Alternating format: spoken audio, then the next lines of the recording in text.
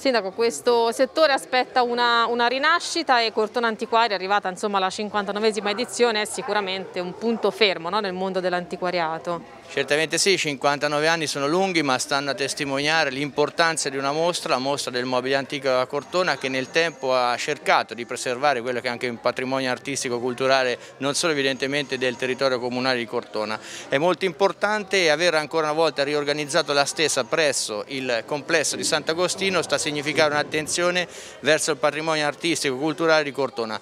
Cortona è piena di turisti, siamo molto soddisfatti, vuol dire che tutti insieme abbiamo lavorato bene anche durante la pandemia. Gli antiquari arrivano da tutte le parti d'Italia, abbiamo antiquari che vengono dal nord, da Bergamo, ehm, da Milano, eh, abbiamo degli, da Firenze, abbiamo degli stranieri, vengono dalla Svezia, eh, da San Marino, da, due, abbiamo uno stand di antiquari spagnoli.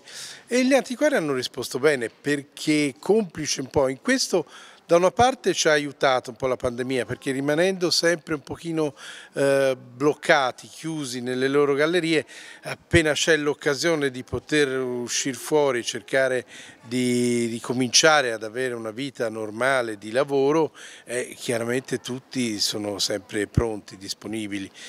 È un pochino più complicato, però ci si riesce. La location poi insomma è molto, molto bella, ovviamente gli antiquari hanno ognuno più o meno il loro spazio, è comunque affascinante no? come luogo che, che, la ospita. Certo, la location eh, gioco forza l'anno scorso siamo stati costretti a cambiarla.